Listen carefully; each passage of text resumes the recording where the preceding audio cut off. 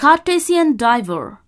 A diver is a person who explores the underwater world by diving. Divers explore the oceans, lakes, and rivers by taking deep dives underwater. They make use of diving suits, breathing tubes, etc. A Cartesian diver is a classic science experiment named after Rene Descartes, a mathematician. Let us perform this interesting experiment. Materials required are a 2 liter plastic bottle and its cap, a small container such as a large glass or bowl, glass medicine dropper, one that sinks in water. Procedure Take the empty bottle and fill it completely with water. Fill the glass with water and place the medicine dropper in the glass.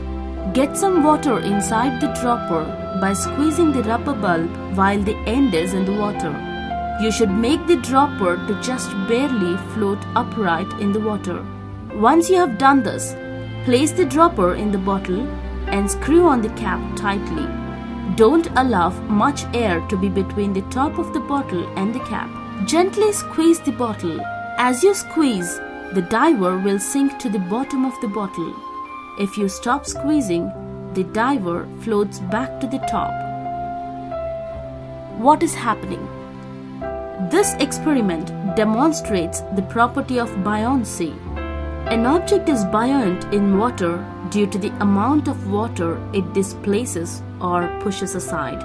If the weight of water that is displaced by an object in water exceeds the weight of the object, then the object will float. When we apply pressure to the bottle, we apply pressure to the air in the dropper, reducing its size.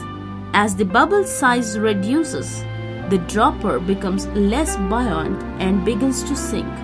Release the pressure on the bottle and the dropper begins to rise back to the top.